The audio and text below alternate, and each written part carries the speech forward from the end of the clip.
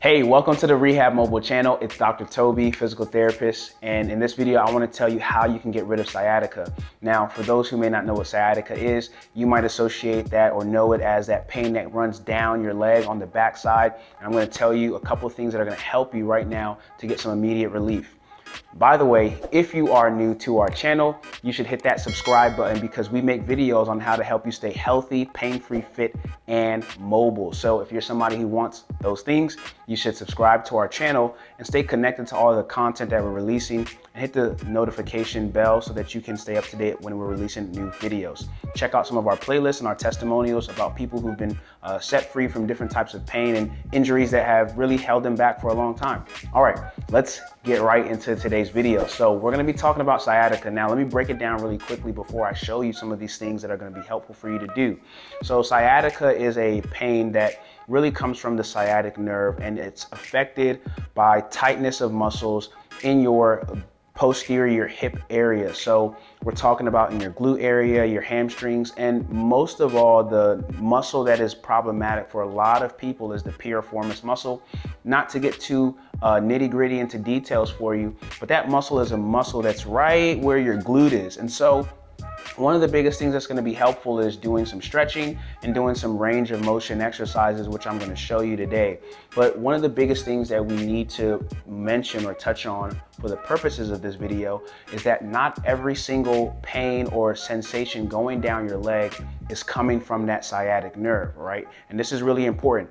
Uh, being able to distinguish whether it's actually coming from the sciatic nerve versus if it's coming from your back or higher up in your spinal cord is really, really important because you can have pain going down your leg for various reasons.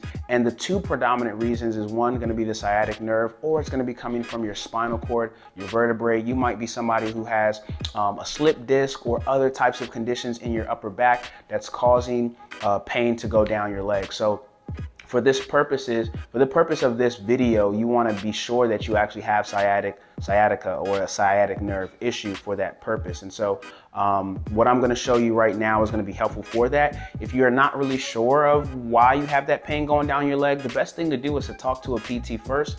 Specialize in being able to help people differentiate what kind of diagnosis they have and telling you what exactly is going on. So you can hit the link in the description to uh, schedule a time to talk to one of our therapists and I would be happy to help you and get an understanding of what exactly is going on. But again, if you know you have sciatica, this is gonna be helpful. So number one, stretching is gonna be key. And one of the stretches that you wanna do is a piriformis stretch, and I'm gonna show you. So it's a really simple stretch. Now this may be difficult if you already have severe radiating pain going down your leg.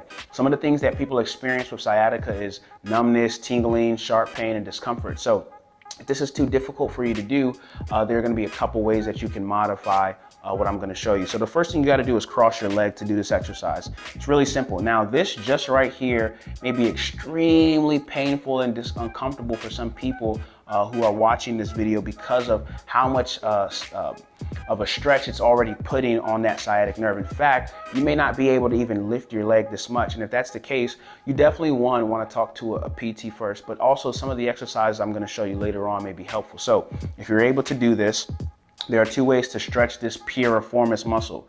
The sciatic nerve passes through that piriformis muscle and gets compressed. And when it gets compressed, it causes some un unwanted symptoms, we'll say, all right? So what you're gonna do is you're gonna put your hands on your knee and you're gonna pull your knee to your opposite side of your shoulder. So what I'm gonna do is I'm pulling my knee to the opposite shoulder. So my right knee, assuming that I have the pain going down my right leg, I'm pulling that right knee to the opposite shoulder and I can feel a really good stretch there. It feels pretty tight, um, but it's not tight to the point that it causes me pain or radiating symptoms, okay? So holding this for several seconds. The thing about stretching is that what we often sometimes don't do correctly is we don't stretch for long enough. And so you wanna hold for at least 20 to 30 seconds if you can tolerate it, ideally because the longer you hold, the more you're gonna give the opportunity for those muscle fibers to stretch out, okay?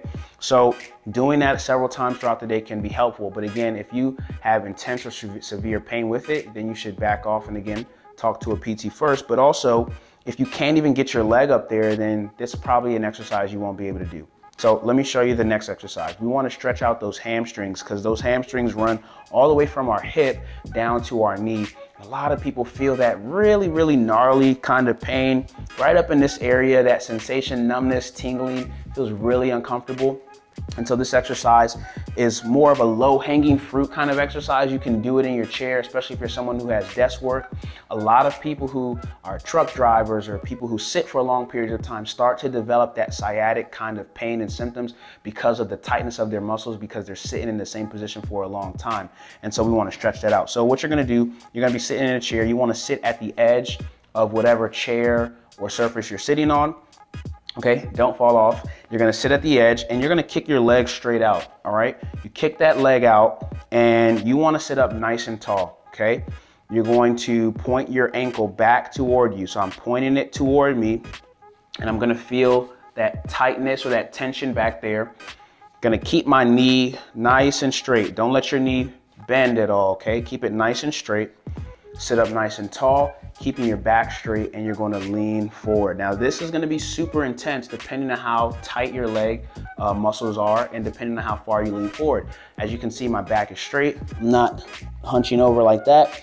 That makes it even more intense and it's not really good posture. So nice and tall, back straight. You're gonna feel a stretch all the way from the calf, right through those hamstrings and you can control and modulate how far you lean forward, which will determine how intense the stretch is. So if this is too much for you, coming back a little bit can be better and more tolerable. And again, because this is a stretch, we wanna hold it for 20 to 30 seconds. And again, self-monitor on how you feel in terms of if it's too long for you.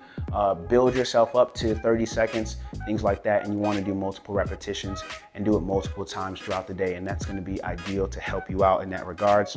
Okay, last thing I'm gonna show you is an exercise that you can perform in a chair, but it's probably best performed when you're actually um, on your back. And I'll show you both ways. So it's a single knee to chest exercise. It's really simple.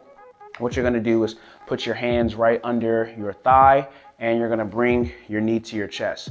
Now this is probably not a very good stretch in this position, nor is it probably gonna be very effective in targeting the muscles that you want to really address. So doing this on our back is gonna be ideal. All right, so I'm gonna lie on my back here and be right here.